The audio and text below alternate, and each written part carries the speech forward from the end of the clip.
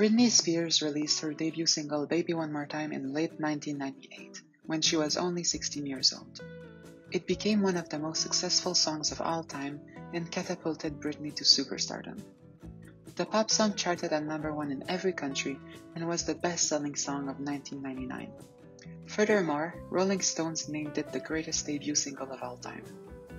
Immediately after her debut, Britney became an international pop icon and emulated the epitome of the American dream.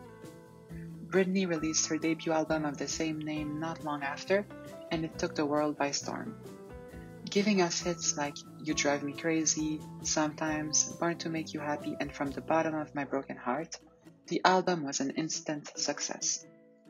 Not only did it debut at number one and sell more than 25 million copies worldwide, but Britney and her debut album are often credited for single handedly reviving teen pop. Following the massive success Britney Spears had with the release of Baby One More Time, many music labels and record companies realized that they too could make money if they followed the Britney Spears formula. So, they went on a quest to create their own Britneys. This usually meant a young blonde that could dance and sing bubblegum pop.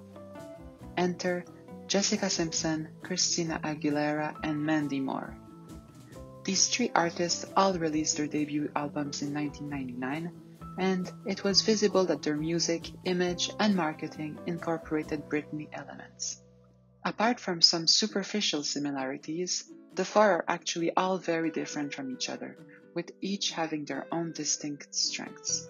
However, it was clear that their labels were pushing them to be more like Britney. Mandy Moore opened up about this a couple of years ago, saying, I think she, talking about Britney, was like the leader of the pack. She started it all. She was at the forefront crushing the pop music scene, opening the door for everyone, men and women alike. I knew once I had been signed, and once I was aware of Britney and then Christina came out shortly thereafter, I knew I was my record label's answer to that. So I was aware that that's what my record label was doing, but I also knew that I couldn't compete in that sense. I'm not Britney. I'm not a great dancer. I don't have that same showmanship quality. That was never gonna be me. Britney, Mandy, Jessica, and Christina were all talented young women in the same industry, and sadly, this led the media to compare them endlessly. They were compared based on their vocals, dancing, and even looks. The fact that this was happening in the early 2000s when tabloid culture was at its peak didn't help either. They were constantly pitted against one another in the media, creating a toxic catfight narrative. Britney and Christina, particularly, were heavily compared to each other throughout the entirety of their careers. Britney Spears and Christina Aguilera met when they were only 11 and 12 years old. They were both cast in Disney's The All New Mickey Mouse Club in 1993, alongside other future superstars Justin Timberlake and Ryan Gosling. Even though Britney and Christina didn't meet until the Mickey Mouse Club, they had something in common before that. As a matter of fact, both of them had appeared on the talent show Star Search.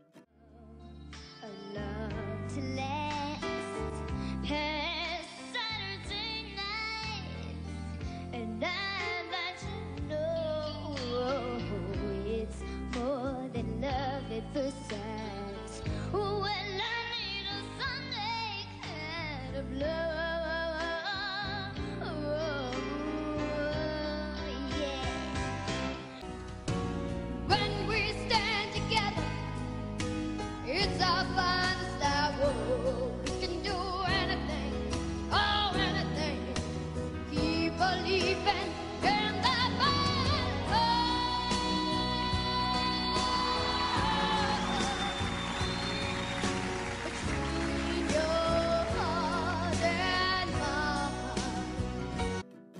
As we know, Britney and Christina both exploded onto the music scene in the late 1990s, and they were compared endlessly.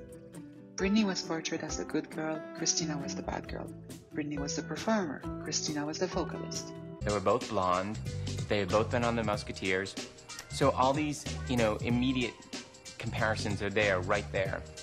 And the press loves them. It's a business. They want their magazine sold, and people don't want to read about, you know, somebody they perceived having a perfect life. They want to read the dirt. They want to read the garbage. They want to, they want to hear about, you know, rivalries. Wardrobe stylist and friend Trish Summerville. I think again it was that whole high school mentality of pitting the good girl against the bad girl. Christina herself addressed the feud rumors multiple times between 1999 and 2001. Give me a line on Britney. What do you remember her uh, most as? Brit Brit. Um, we would all play ping pong in the back, and um, I don't know. We had we had a lot of fun together. A lot of fun. Me and Brit, best friends. I miss her. Here's Britney Spears with uh, "Crazy." Okay, in the States, you know, this question has really died down a lot, but for all of you out there in Brazil, you know, I haven't been here yet, of course, it's my first time, there's no rivalry between me and Britney Spears. We're good. We're friends. No, she's, she's a cool girl. You know, anytime we see each other at awards or we're either presenting or performing, we, we always run into each other. You know, our schedules are busy. We, we don't get to hang out, whatever. You know, we used to be really good friends in the Mickey Mouse Club, but there's no competition at all. You know, if I'm in competition with anybody, it's with myself and improving my own artistry. But, you know, it's just crazy. You know, it's, who knows? Maybe you'll see a duet in the future, but there's no denying anything. You know, the possibilities are endless and they're open. But she's, she's a cool girl, no fighting. But we are two very different artists, and mm-hmm. it's just gonna take a little bit before everybody, you know, really sees that for sure. Mm-hmm. The two singers' career came to another cross in 2003 when they both performed alongside Madonna at the VMAs. In the performance, there was a moment where Madonna kisses Britney and then Christina, but Christina's moment was overshadowed by the Britney kiss. This is because directly after the Madonna and Britney kiss, the camera cut to Britney's ex-boyfriend Justin Timberlake's face to see his reaction. The next day, everyone was talking about the Madonna, Britney, and Justin situation, but not so much about Christina. This incident might have started a bit of bad blood between the two, because between 2003 and 2005, the singers started to make little jabs at each other through the press. In 2003, Christina talked to Blender magazine about her experience rehearsing with Britney, saying, Every time I tried to start a conversation with her, well, let's just say she seemed nervous at the whole time. She seems to me like a lost little girl, someone who desperately needs guidance. Britney responded to Christina's comment, saying, A lost little girl? I think it's probably the other way around. I can't believe she said that about me kind of on a different note, and I was kind of shocked to see it because I'd only heard nice things coming out of your mouth about Christina. Uh, but in this new Blender magazine, she rips into Kelly Osbourne and Beyonce, and you saying that you had to kiss Madonna at the VMAs because you needed a gimmick. And she said these people aren't artists; they're just performers, fake and superficial. Mouseketeer teammate Christina Aguilera. I don't know her her boyfriend. I don't know her anymore, so um, no comment. I wish them the best. Didn't she kiss her too? Right. That's what threw right. me off about she that. She kissed her too, right? But see, everyone's like, oh, they're they're wanting to, you know, form a gimmick, but it's like, you know what? I'm just doing my job. The media's they're the one who make it interpretate it that way. Yeah. I'm just doing what I do. Yeah. And if they want to interpret it and misconstrue it in their way, let them misconstrue it. Now, so. how, how, do you respond to Christina though? Because that's kind of like a personal pot shot. Like that. You know what? I right. don't want to say anything. About her. Really? No, That's the high no, no, no. She has an amazing voice. She's an amazing girl, but she says some things sometimes that are just kind of rude. Later that same year, Christina started the Justified and Stripped tour with Justin Timberlake. Many interpreted this as Christina stabbing Britney in the back, since Justin and Britney's breakup was very public and it looked like Christina was taking Justin's side. In 2004, after Britney got engaged, Christina talked to Us Weekly about Britney, saying, I can't believe that girl bought her own engagement ring. I've seen it up close. It looks like she got it on QVC. She continued by saying, I know Britney. She's not trailer trash, but she sure acts that way. The feud started to cool down in 2005 when Britney admitted in a blog post for E that she'd love to be close with Christina again. In 2008, Christina admitted that there was actually no competition between them and that she wishes Britney all the best. When we both started releasing records, it was a funny time for me. It must have seemed as if we were competing with each other, but in reality, Britney is someone that I used to hold hands with. We were silly little girls together on the Mickey Mouse Club.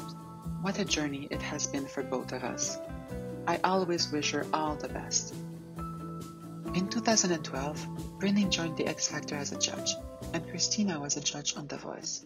Since their careers were once again going in a similar trajectory, the media started comparing them and pitting them against one another again.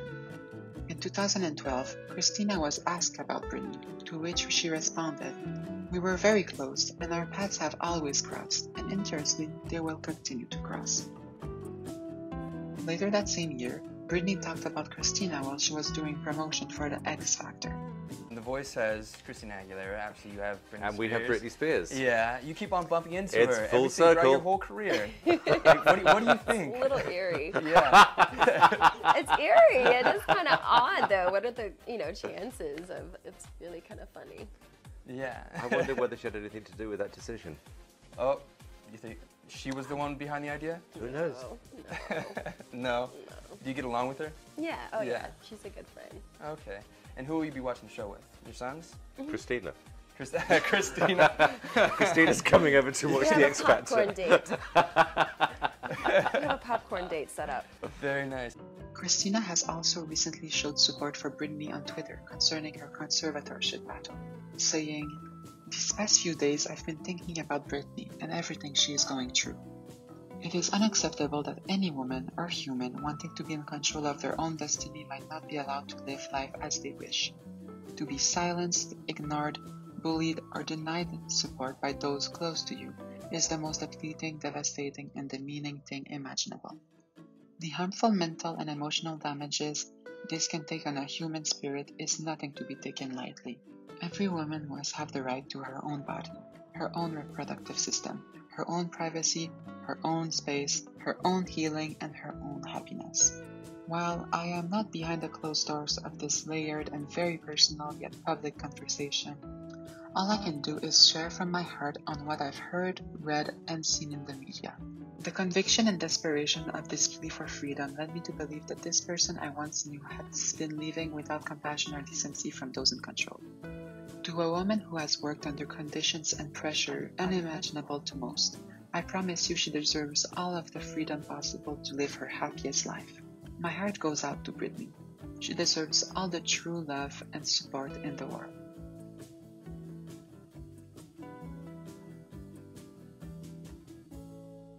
Even though Britney, Christina, Jessica, and Mandy were usually grouped together and compared to each other in the beginning of their careers, they have all since found their own way and made a name for themselves. Apart from releasing seven successful studio albums, Jessica Simpson became a very successful reality TV star and businesswoman. As a matter of fact, Jessica starred on the MTV reality series The Newlyweds between 2003 and 2005, and her clothing line, the Jessica Simpson Collection, has earned more than $1 billion in revenue. Furthermore, Jessica has published a memoir in 2020, which reached number one in the New York Times bestseller list. Finally, she's been married to her husband since 2014 and they share three children together. In addition from being a successful musician with seven studio albums, Mandy Moore has also become a very established actress. Mandy has starred in movies like A Walk to Remember, Princess Diaries, Chasing Liberty, and she even voiced Princess Rapunzel in the Disney movie Tangled. Moreover, she won two SAG Awards and was nominated for a Golden Globe and an Emmy for her portrayal of Rebecca Pearson in the hit show This Is Us. Mandy is married to singer-songwriter Taylor Goldsmith and she gave birth to her baby boy last February. Christina Aguilera has become one of the best-selling artists in the world, with approximately 75 million records sold. She is often referred to as the voice of a generation, as well as one of the greatest vocalists ever. During her career, Christina has released many hits. She has also accumulated numerous awards, including 5 Grammys, 1 Latin Grammy, 2 VMAs, 1 Billboard Music Award, and a star on the Hollywood Walk of Fame. In 2009, Christina also became the global spokesperson for the United Nations World Food Program and has helped raise more than $148 million for the organization. Furthermore, she starred alongside Cher in the iconic 2010 film Burlesque. She's been a judge on the singing competition show The Voice, and she has started a Las Vegas residency in 2019.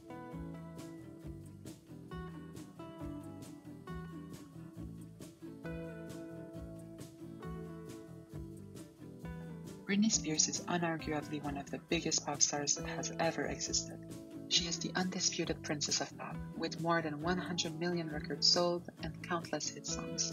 She has had an immense impact on the music industry and continues to be relevant even 22 years into her career. Furthermore, she is often regarded as being one of the best performers ever, with an undeniable stage presence. Britney's remarkable music has earned her countless awards, including a Grammy Award, 6 VMAs, 7 Billboard Music Awards, 15 Guinness World Records, and a star on the Hollywood Walk of Fame. Moreover, Britney Spears has also dabbled in acting, starring in the 2001 film Crossroads and appearing in popular shows like How I Met Your Mother, Will and Grace, and Jane the Virgin. Britney also has her own perfume line, having released 24 fragrances that gross an impressive $1.5 billion. Britney has also had a very successful four-year Las Vegas residency between 2013 and 2017. Recently, she has also been through some very public struggles concerning her conservatorship, with her dad and family taking advantage of her for years. However, her father has recently been removed as her conservator, and legal actions have been made to attempt to terminate the conservatorship. I just hope that Britney will finally get this freedom that she rightly deserves, so that she can start a new chapter where she's actually in charge of her own life.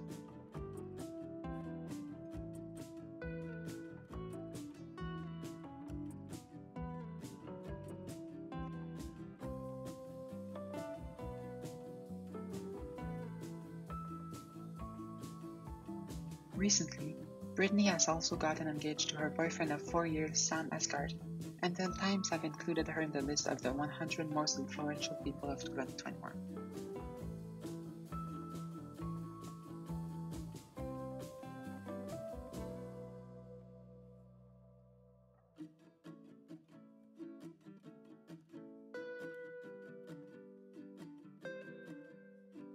It's really bizarre to me that the media has had such an obsession with comparing the 14 pop princesses of 1999 and pitting them against each other. Apart from some superficial similarities, like the fact that they were all young and blonde, they were all actually very different from each other.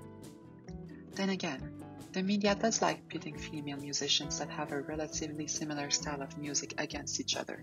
However, I think it's admirable that they have all found their own ways eventually, and that they didn't let these comparisons pigeonhole them. Jessica Simpson said it best. We grew up in a very competitive environment when it came to our record labels and being pushed to do things that were unnecessary for success. Everybody has found their own way in such a beautiful, inspiring way. There's so much room at the top. I just love that everybody has remained authentic to who they are. So this leads us to the end of today's video. I really hope you enjoyed it. Thank you so much for sticking around. If you'd like to share your opinions and thoughts about this whole situation in the comments, please do so. I'd love to read them. And thank you again for sticking around to the end of this video. If you want to like or subscribe, that's always appreciated and see you all next time. Bye!